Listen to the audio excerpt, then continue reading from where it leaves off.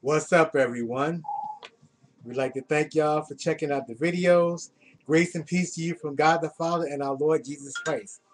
We thank you for all blessings every day, everything that you do for us, Lord, in Jesus' name. Amen.